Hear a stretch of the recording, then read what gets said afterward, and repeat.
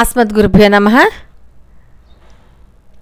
శ్రీ తాడేపల్లి రాఘవనారాయణ శాస్త్రి గారు బాలా త్రిపుర సుందరి మహామంత్రయోగి అని నడయాడే దైవంగా ప్రసిద్ధికెక్కిన కంచి మహాస్వామి వారు స్వయంగా వారి నోట పలికారు.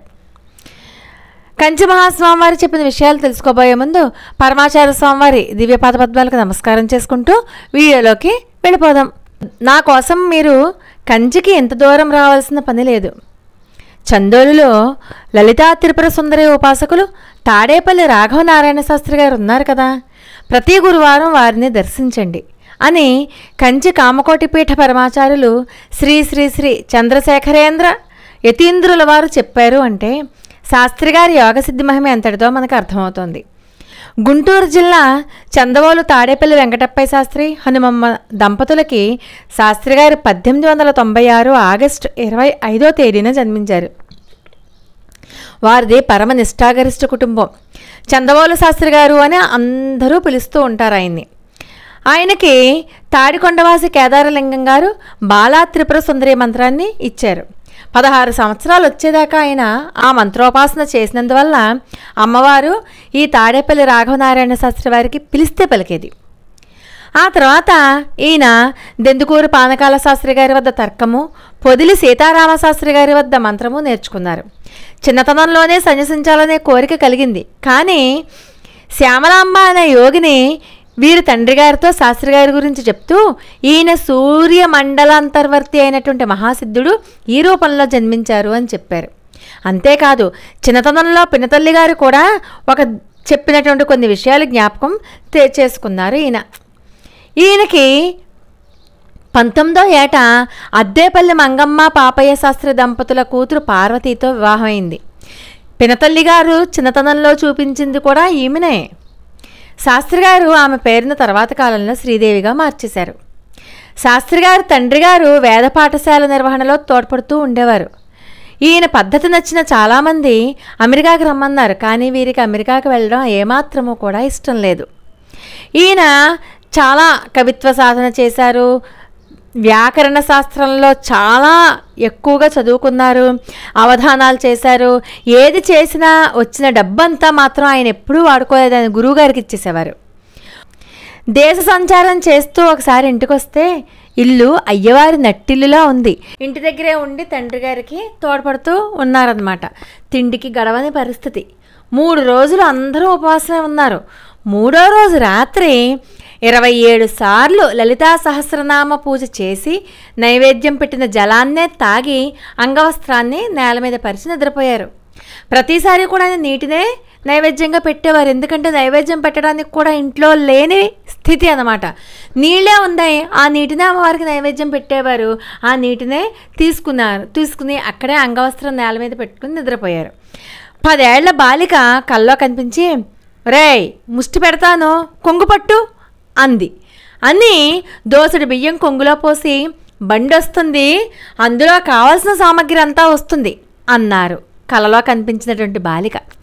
అంతే తెల్లవారేసరికి ఖాజీపాలెం సీతారామరాజు గారి బండి వచ్చింది అక్కడ రాజుగారు కోరిన మీదట పురాణం చెప్పి రాత్రి ఇంటికి వచ్చేసరికి తలుపు దగ్గర రాజుగారు పోయించిన పుట్టెడు ధాన్యప్రాస కనిపించింది. ఇంకా అప్పటి నుంచి శాస్త్రగారు వెనక్కి తిరిగి చూసుకోలేదు. శాస్త్రి గారి ఇంట్లో నిత్యము కూడా లక్ష్మీదేవి సాక్షాత్కారమే నిత్య సాక్షాత్కారమే జరిగింది. ఈయన శాస్త్రి గారు అనేక గ్రామాలలో భాగవతము హరివంశము పురాణం చెప్తూ రాత్రికి ఇంటికి చేరేవారు. పరమనిష్టాగరిష్ఠులు మామూలు నిష్టాగరిష్ఠులు కూడా కాదు. ప్రాణాయామం తపస్సు కొనసాగించేవారు. ఈయన వేరుశనగ కానీ వేరుశనగ నూనె కానీ దొండకాయ టమాటా బంగాళదుంప ముల్లంగి క్యాబేజీ ఇవి ఏమీ తినేవారు కాదు. అంత నిష్ట అంటే కొన్ని కొన్ని వంటకాలు తింటే రజోగుణం వస్తుంది అనుకుంటే ఆ వంటకాలు తినకూడదు అని చెప్పి రాస్తే అవి తినరు అనమాట అంత నిష్టగా చేసేవారు ఆయన కాశీకి తప్ప ఎప్పుడూ కూడా ఆయన రైల్లో ప్రయాణం చేయలేదు. శాస్త్రి గారికి మగ సంతానం లేదు.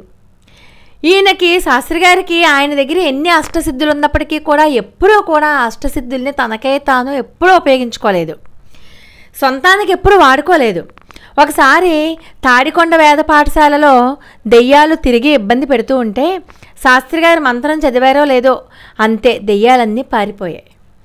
ఇంకొకసారి ఈయన ఒక ఔషధాన్ని సేకరించాలని చెప్పి ఒక కొండ ఎక్కుతున్నారు. ఆ ఔషధం పేరు వశ్యంకర ఔషధి. అంటే ఆ ఔషధం కనుక దగ్గరుంటే ఎటువంటి వాళ్ళైనా వసూలైపోతారు. కానీ ఆ మొక్క కేవలం చంద్రగ్రహణం రోజు మాత్రమే కనబడుతుంది. మిగతా రోజుల్లో దాన్ని గుర్తించడం చాలా కష్టం. అందుచేత ఆ మొక్కను ఎలాగైనా సరే తీసుకోవాలి అని చెప్పి ఆయన చంద్రగ్రహణం రోజున కొండెక్కి దాన్ని గుర్తుపెట్టి తీసుకుందామని చెప్పి దగ్గరికి వెళ్ళేసరికి ఒక యువకుడు అడ్డుపడ్డాడు. ఎలా అడ్డుపడ్డాడంటే ఇంకా చంద్రగ్రహణం పూర్తయ్యేదాకా అసలు ఆ మొక్కని ముట్టుకొనివ్వలేదు ఆ యువకుడు. నీకు ఈ మొక్కతో పని లేదు. నీ ముఖం చూస్తేనే అందరూ వసలవుతారు కదా ఇంకా నీకు ఈ మొక్కతో పని ఏంటి అని చెప్పి ఆ మొక్కని తీసుకొని ఇవ్వలేదు. ఈ లోపల చంద్రగ్రహణం వదిలిపోయింది. ఆ బాలుడు కూడా అదృశ్యమైపోయాడు. ఆ బాలుడు ఎవరో కాదు.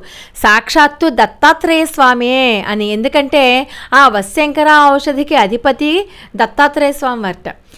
అక్కడ పూర్వజన్మలో ఈయనకి సకుడుట ఒక యోగి ఆయన కనిపించి నువ్వు అలాగా చింతించుకో సుఖదుఖాలను సమానంగా భావించాలని చెప్పి మళ్ళీ నీకు యాభై ఏళ్ళ తర్వాత నేను కనిపిస్తాను అని చెప్పి ఆ యోగి అదృశ్యమైపోయాడు.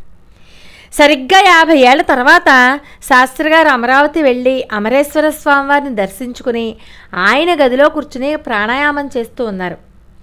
ప్రాణాయామం చేస్తూ చాలా పైకి అదొక సిద్ధి అన్నమాట. పైకి గాల్లో తేలి తలకిందులుగా పడిపోతూ ఉంటే తల నేలకి తగిలే సమయానికి ఎవరో ఇలా చెయ్యి అడ్డుపెట్టారు ఆ చెయ్యి అడ్డుపెట్టిన ఆయనే యాభై ఏళ్ళకు ముందర కనిపించినటువంటి యోగి అనమాట వెంటనే ఈయన ప్రాణాలు కాపాడడం జరిగింది. శాస్త్రి గారు నమస్కరించగానే యోగి అదృశ్యమైపోయాడు. అంటే చూడండి యాభై ఏళ్ళకు ముందే శాస్త్రి గారికి ఈ ప్రమాదం జరుగుతుందని చెప్పి ఆ యోగి కనుక్కున్నారనమాట తండ్రి గారు మొదలుపెట్టినటువంటి శ్రీరామ కథామృతంను వారి మరణానంతరము కూడా శాస్త్రి గారు పూర్తి చేశారు. అలాగే ఆయన పూర్తి చేసే సందర్భంలో ఒక పద్యం రాకపోతే అమ్మవారిని ఉపాసించి నిద్రపోతే సాక్షాత్తు అమ్మవారే ఆ పద్యం ఎలా పూరించాలో చెప్తే ఆ రకంగా అమ్మవారి సూచనని అనుసరించే పద్యాన్ని పూర్తి చేశారు. ఇంకొకసారి ఒక ఈ పుస్తకాలు ఈయన ఏవైతే పుస్తకాలు రచించారో ఆ పుస్తకాల ముద్రణ కోసం చందాల కోసం తిరుగుతూ ఉంటే సత్తెనపల్లిలో ఒక బ్రాహ్మణుల ఇంట్లోకి ఒక ఇరవై ఏళ్ళ యువత కనిపించి నమస్కరించి వెళ్ళిపోయిందిట. ఇంతకీ ఆ ఇరవై ఏళ్ళ యువత ఎవరు అంటే గ్రహపీడితురాలు ఎవరిని చూసినా సరే రెక్కేసి కొట్టేసి తిడుతూ ఉండేది కానీ శాస్త్రి గారిని చూసేసరికి నమస్కరించి అత్యంత వినయాన్ని ప్రదర్శించి వెళ్ళిపోవడంతో ఇంట్లో వాళ్ళందరికీ ఆశ్చర్యం వేసింది ఈ గ్రహపీడితురాల విషయం శాస్త్రి గారికి చెప్పేసరికి శాస్త్రి గారు ఆ గ్రహపీడితురాలను దగ్గర పెట్టుకుని ఆవాహన చేశారనమాట ఆవాహన చేసి ఏం చేస్తే నువ్వు పోతావు? అని చెప్పి అడిగారు. అడిగితే సహస్ర గాయత్రి జపఫలం ధారపోస్తే పోతాను అంది. శాస్త్రి గారు వెంటనే సహస్ర గాయత్రి జపం చేసి ధారపోశారు. ఇంటి ముందున్న వేప చెట్టు కొమ్మ విరిగి పడిపోయింది దెయ్యం వదిలిపోయింది. ఆ రకంగా ఆ గ్రహపీడితురాలకి స్వస్థత చేకూరిందనమాట అలాగే ఇంకొకసారి నాగుల చవితి రోజు కాలువలో స్నానం చేసి వస్తూ ఉంటే అక్కడ పడుకున్నటువంటి నాగుపాము తోక మీద కాలేశారు ఆయన.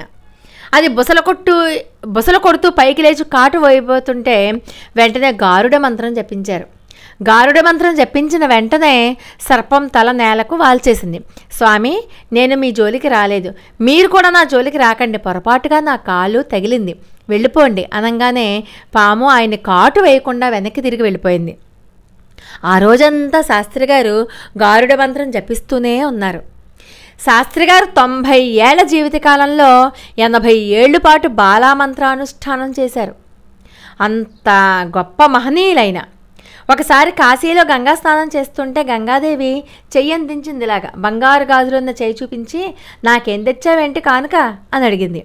వెంటనే శాస్త్రి గారికి ఏం పాలుపోలేదు తన దగ్గర ఏమీ లేదు. వేలుకున్న దర్భ ఉంగరం మాత్రమే ఉంటే అది తీసి చటుక్కునాం చేతిలో పెట్టేశారు. సరే గంగా నదిలో స్నానం అయిపోయాక ఇంటికి వచ్చి దేవతార్చన చేద్దామని చెప్పి దేవతార్చన పెట్టి తెరిచి చూస్తే గంగమ్మ తల్లికి ఏదైతే అర్పించారో ఉంగరం ఆ ఉంగరం దీంట్లోనే ఉంది. అదేంటి తను ఏమైనా పొరపడి ఏమైనా చేశానా? ఉంగరం ఇవ్వకుండా ఉంగరం ఇచ్చాను అనుకున్నానా? అనుకున్నారు. అనుకుని ఒక్కసారి కళ్ళు మూసుకునే ధ్యానంలోకి వెళ్ళిపోతే వెంటనే అమ్మవారు కనిపించి కానుక ఇమ్మంటే దర్భ ఉంగరం ఇచ్చావేనరా పితృతర్పణం చేయడానికి ఉపయోగపడుతుంది కానీ నాకు ఆభరణం ఎలా అవుతుందిరా? అని గద్దించింది అమ్మవారు. అమ్మా నేనేమీ నీ కోసం తేలేదు. ఆ సమయానికి అది స్ఫురించింది. ఇచ్చాను అంతే అన్నారు శాస్త్రి గారు మళ్ళీ గంగమ్మ అంటుంది నీ భార్య దగ్గర నా కోసం తెచ్చిన నగ ఉంది అది తెచ్చివ్వు. అంది గంగమ్మ. వెంటనే శాస్త్రి గారు భార్యని అడిగి ఆ నగను తీసుకుని గంగార్పణం చేసి వచ్చారు. ఇలాగా ప్రతిదీ అనమాట ఎందుకు? ఆయన అనుష్ఠానం పూర్తి చేసుకుని బయటకు వచ్చి అరుగు మీద కూర్చుండేవారు. అరుగు మీద కూర్చుంటే వందలాది మంది వచ్చి తమకు ముహూర్తం పెట్టమనో పేరు పెట్టమనో ఇల్లు కట్టుకుంటామని చెప్పి శంకుస్థాపన ముహూర్తం కావాలనో ఏదో ఒకటి అడిగేవారు. అడిగితే కాసేపు కళ్ళు మూసుకుండేవారు. కళ్ళు మూసుకుని ముహూర్త నిర్ణయం చేసేసేవారు. ఇంకా పంచాంగాలు చూడడం కానీ పుస్తకాలు చూడడం గణించడం ఏం చేసేవారు కాదు. అంతే. ఆ కార్యక్రమం శుభప్రదంగా జరిగిపోయేది. దానికి తిరగలేదన్నమాట. అంత వాక్శుద్ధి ఉంది ఆయనకి శాస్త్రి గారికి. అది వారి మంత్రసిద్ధి అంటే. అలాగా దాదాపు ముప్పై ఏళ్ళ క్రితం కంచి పరమాచార్య స్వామి వారు ఉయ్యూరు కేసీపీ వారి యొక్క ఆహ్వానం మేరకు గురజాడలోని చల్లా శర్మగారి ఏర్పాటు చేసిన కార్యక్రమంలో వారం రోజులున్నారు. అప్పుడు రాఘవనారాయణ శాస్త్రి గారు కూడా అక్కడే ఉన్నారనమాట వీళ్ళిద్దరినీ కూడా ఒకేసారి చూసేటటువంటి భాగ్యం ఎంతో మందికి కలిగింది అప్పట్లో. ఈ తాడేపల్లి రాఘవనారాయణ శాస్త్రి గారు పది పన్నెండు పంతొమ్మిది వందల తొంభై ప్రమోదూత మార్గశిర బహుళ నవమి నాడు శాస్త్రి గారు బాలా త్రిపుర సుందరి అమ్మవారి ఒడిలోకి శాశ్వతంగా చేరిపోయారు. వారి పార్థివ దేహానికి అగ్ని సంస్కారం చేసేటప్పుడు అమ్మవారి యొక్క ఆకారం చితిమంటలుగా ఆకాశానికి లేవడం ఎందరో చూసి పరమాద్భుతంగా వర్ణించారు. శాస్త్రి గారు కారణజన్ములు వారి పేరు వింటే చాలు సకల శుభాలు జరుగుతాయి. పరమాచార్య స్వామి వారు ఈ శాస్త్రి గారు ఇద్దరూ కూడా కలుసుకున్న మహా అద్భుతమైనటువంటి సంఘటన. మరొక వీడియోలో చెప్పుకుందాం. అపార కరుణా సింధం జ్ఞానదం శాంతరూపిణం. శ్రీ చంద్రశేఖర గురం ప్రణమామి ముదాన్వహం. లోకా సమస్త సుఖదాభవంత మరొక అద్భుతమైన వీడియోతో మళ్ళీ కలుసుకుందాం. అంతవరకు నమస్కారం.